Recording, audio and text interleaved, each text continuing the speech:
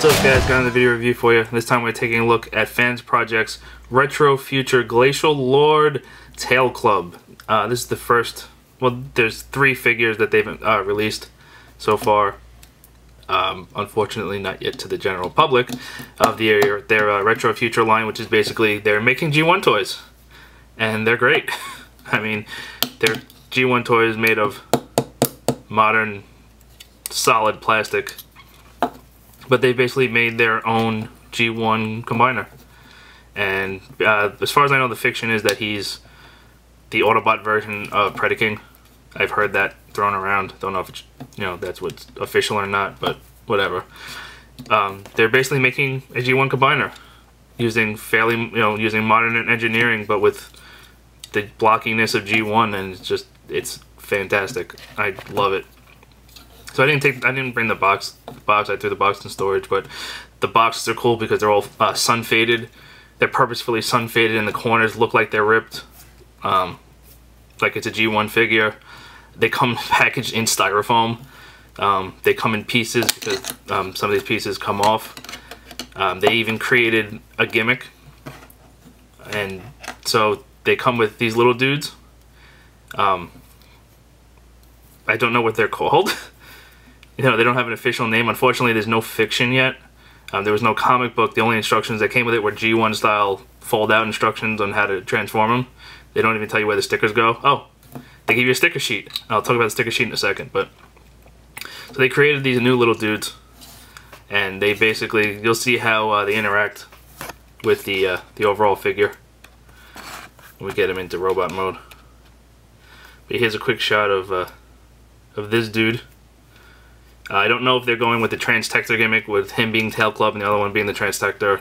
I honestly don't know because there's no fiction yet, like I said. But uh, it's standard articulation on these guys, except that uh, the legs aren't aren't riveted together. So arms forward all the way forward and back all the way just riveted. Bends at the waist and also bends at the the knee up for the uh, the combination. But yeah, again, really cool little dude. They're actually all individually molded. They're not the uh, they're not the same figure remolded. They're actually they actually are unique. So we're gonna be taking a look at a few of these. Uh, I picked these guys up at TFCon. I was one of the last people to get Tusker, which is the the torso bit, the torso piece.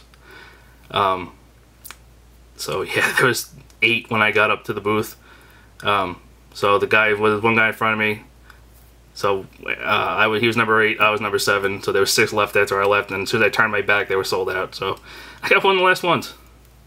But yeah, these guys will be going on sale to the general public soon. I think. I hope. Uh, as far as I know, obviously the first three are dunks. I have them, and they're packaged and ready to go and everything. So uh, these guys also came on little blister cards, which was which was pretty cool. So yeah, that's this little dude. I'll take a look at him more in a minute. Um, but yeah, like I said, these guys also came with stickers. So all these, all this detail is stickers. And what's weird is half the stickers were applied already. Um, this guy, I, I, literally put the least amount into.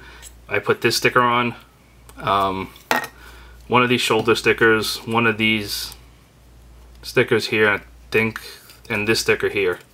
Other than that, the rest, the head stickers were all already applied. So they applied half of them I guess to show you kind of where they go, which is kind of weird, but whatever. It's cool. You know, we got stickers, got G1 figures. I mean, I a lot of people are hating on these guys, but I really, really, really like them. I mean, once you handle them and play with them, you'll I guarantee you'll like them if you like if you like the G1 aesthetic. If you like G1, you like G1 combiners, you need to get these guys. That's all I'm gonna say about that. So yeah, so we take he is I don't know what kind of animal he is. They are all prehistoric creatures. I'm not big on zoology and such, so I don't know exactly what kind of animal he is. But he's this dude. Anyway, you can pop this bit off. Well, let me show you the... Uh, they do all have... These little dudes all have another gimmick besides the gimmick I'm going to show you in robot mode. They all have like a Beast Rider mode. So if you see there's a cut in the top here. Uh, it matches the cut in his feet. So you can plug him in there and you can have him ride him. just a cool way to get him to integrate them, you know, in ro in vehicle in alt mode, beast mode. So there's that, which is really cool. I do like that. So you pop this off. Uh, this just pegs on. There's two holes right there, and there's two pegs right there, and the grooves line up with the the cut in the back legs. It just pegged on. Um, what's also great is these guys, you can transform them back and forth in seconds, much like a G1 figure. So like, I just literally sit at my desk and, and transform them all day. I never get tired of it. So this is going to be the foot of the combiner, and it's also going to be a shield for him in uh, robot mode. Set that off this side, unplug this, unplug the tail, and that just, there's two, these two parts here slot in right here, just like that. So unplug that for now. So to transform him the rest of the way, we're going to do is pull the head straight off and then come under here and fold this bit up and then we're also going to pop the horn up on his head take the tail club part the tail part and there's a hole right here and a groove and we're just going to connect those together. I like to fold the head down just to make it more cohesive. And that's his tail club hence his name tail club. Put that off to the side. Now I'm going to take the rest of the body, fold the neck bit up, come here to the legs, and we're actually going to just rotate these down. There's two slots here and there's two pegs here, and that's how they peg together.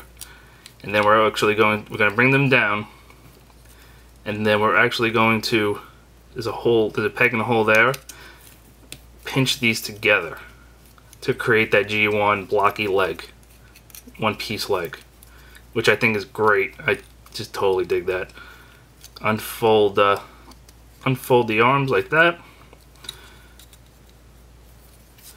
Just kind of bring line them up. And this is Tail Club in his robot mode.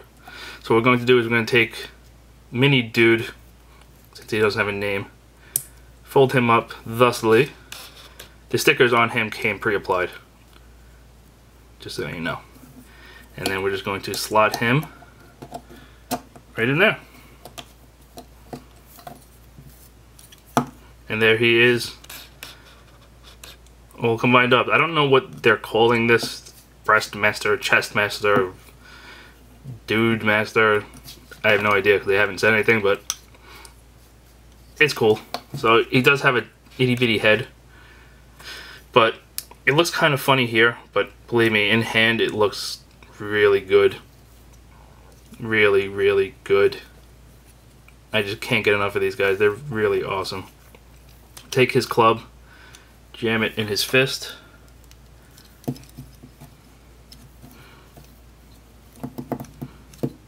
Cool. Um, there's a peg here. You can peg it into his. You can peg this into his shoulder as a shield, like that.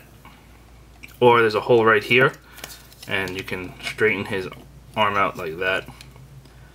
Peg it in like that, and you can have the shield holder in front of him, like that. So those are your options with the shield. So yeah, like I said, I really can't say enough good things about these. So yeah, as you can see, the club is really big. But yeah, let's, uh... Oh, let me do, I didn't do articulation. Just take this bit off for now. Um, nothing at the head, shoulders just go around, and nothing at the feet. The end. It's basically G1 articulation because he basically is a G1 toy, which I still love. So yeah, to get this guy into limb mode. Oh, one other thing.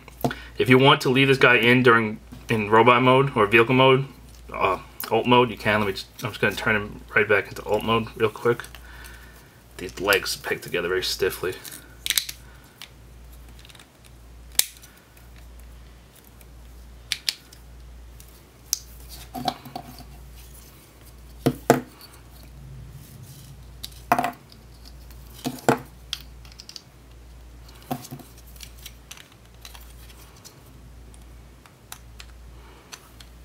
human. So obviously there he is all the way back in alt mode and it's just fine.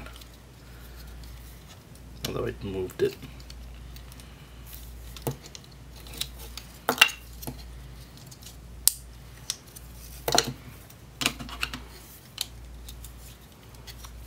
So yeah, so as you can see, he just hides his little head in there and he folds in there just fine.